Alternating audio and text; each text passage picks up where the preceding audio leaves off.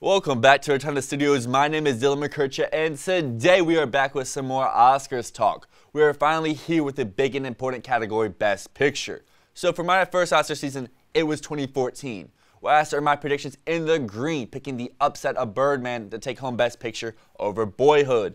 Since then, I've been batting pretty well. I've gotten five of the last six winners pretty right with my only loss coming last year where I picked 1917 to take home the night's big prize, which ended up falling to Parasite. However, this year I should be back on track with an easy home run right here. Before I state my pick, let's check out the nominations. These include The Father, Judas and the Black Messiah, Mank, Minari, Nomadland, Promise Young Woman, Metal, and The Trial of the Chicago 7.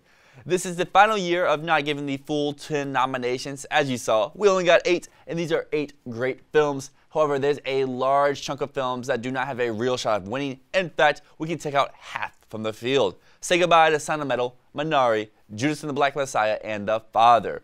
While these include my two favorite films of the bunch, there's no real push for any of these films to win Best Picture. I'd also lump Mank into that bunch, but with two nominations, who knows? A major upset could occur. That leaves us with Nomadland, Promising Young Woman, and Trial of the Chicago 7. A key award that plays in the Best Picture is film editing, and Trial is the only one here in this bunch with a real shot to win that category. However, that may be the only award it could win on the night. The love for Trial has all fizzled out as of late. On the other hand, Promising Young Woman is surging, but its only lock is in the original screenplay category over Trial of the Chicago 7. The actress race is still pretty wacky this year, and if Mulligan doesn't win that, Promising Young Woman is done for. That leaves us with Nomadland. Nomadland is going to have a night. It is going to win director, cinematography, is a real shot winning both adapted screenplay and even has an opportunity to sneak into the leading actress category with Frances McDormand. If it does, the film will be 4 for 4, and being 4 for 4 almost guarantees a Best Picture win. Plus, Nomadland has been running the award season and has not lost at any major guild so far, so I'm going Nomadland for Picture.